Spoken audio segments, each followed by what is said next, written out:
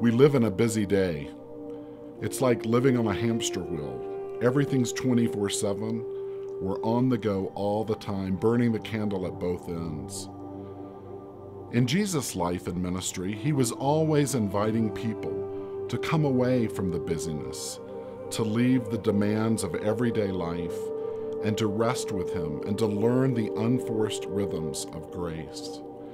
It's one of the things we do at Potter's Inn and Potter's Inn at Aspen Ridge.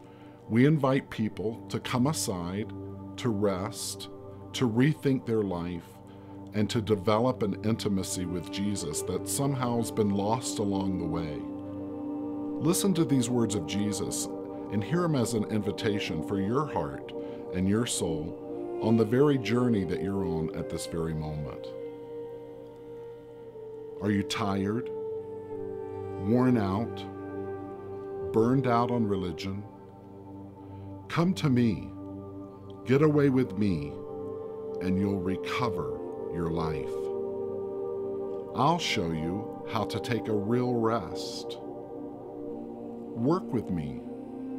Walk with me. Watch how I do it. Learn the unforced rhythms of grace. I won't lay anything heavy or ill fitting on you.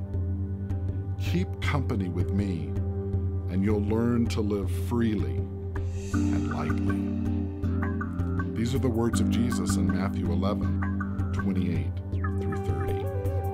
I love realizing that the inn, Potter's Inn, can be a place that will, from the minute the doors are open, there'll be that quiet, unspoken invitation to come to a safe place, to sit by a fire, to be quiet or to enter a conversation, to feel like you belong. When we feel like we belong, we we can put our guard down. We can realize not only our, our deepest needs, but we can also begin to realize our deepest glory that we are created in the image of God. And we need a safe place these days to realize that God's imprint is on us and we can discover what that is and live from that place. Potter's Inn can be an invitation to come and be safe and be who